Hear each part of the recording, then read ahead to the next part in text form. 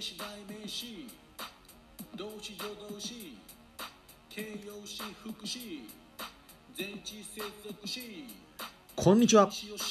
田中健一です。ウィキペディア横断ウルトラクイズの時間がやってまいりました。お送りしますのはハゲ帯もっと光を。じゃじゃん。問題次の英文はウィキペディアのある項目の一部である。その項目とは何か？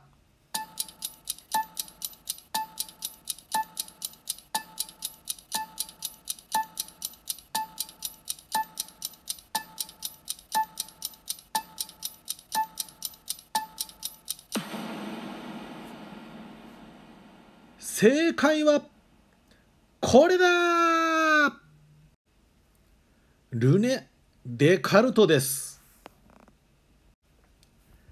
英文の解説をしておきましょう。まずは最初に出てくる「he」これが主語ですね。主語にはワーカーがをつけます。で、えーこの見方この this view というのは前の文に出てきてます。これを短くしました。短くまとめました。でこのカンマ ing ここは分子構文と見ておきましょう。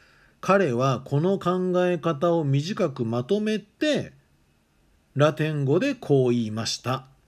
コギトエルゴスムと呼ばれるやつです。で後ろのカンマ ing こちらですね。この後ろのカンマミーニングの方は分子構文と取ってもいいですしこれ前のコギトエルゴスムを修飾する現在分子と取ってもいいでしょう。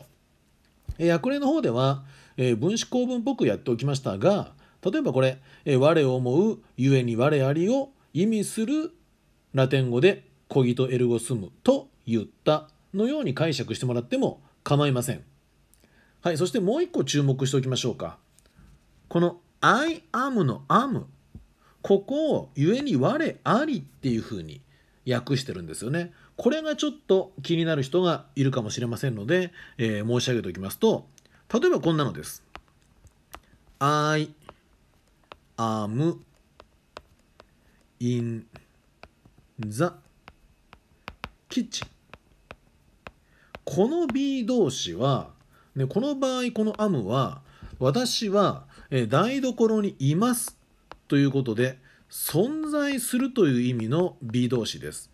ね、I am a student とかね I am beautiful とかの私は学生です私は美しいですみたいな統合を表す B 動詞とは別の用法です。これが使われております。